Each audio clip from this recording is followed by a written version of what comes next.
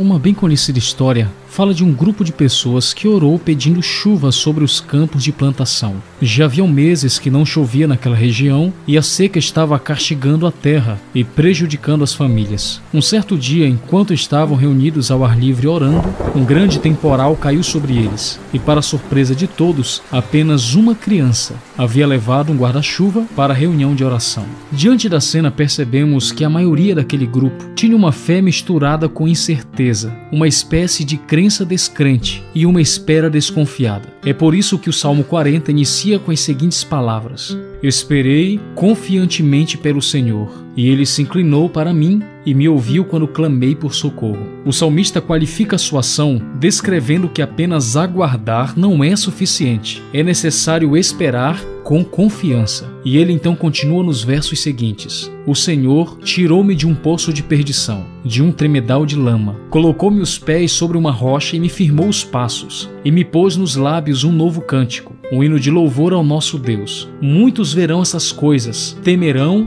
e confiarão no Senhor. Interessante a parte final desta sessão. Novamente aparece a palavra confiança, mas agora não se refere mais a Davi, mas sim às pessoas que observam a sua vida. Agora são elas que foram tomadas pela confiança em Deus. De alguma forma, o texto mostra que pessoas que confiam transmitem confiança e contagiam aos outros com esse sentimento. Por isso, o verso 4 afirma: Bem-aventurado o homem que põe no Senhor a sua confiança. Finalizo esta reflexão lembrando que só confiamos em quem conhecemos. Portanto, para se confiar em Deus, é necessário viver de forma íntima com Ele, sair do campo teórico e experimentar uma vida entregue à Sua vontade. Somente assim poderemos declarar como Davi: que, mesmo sendo rei de um grande império, disse no final do salmo: Eu sou pobre e necessitado, porém o Senhor cuida de mim. Tu és o meu amparo e o meu libertador.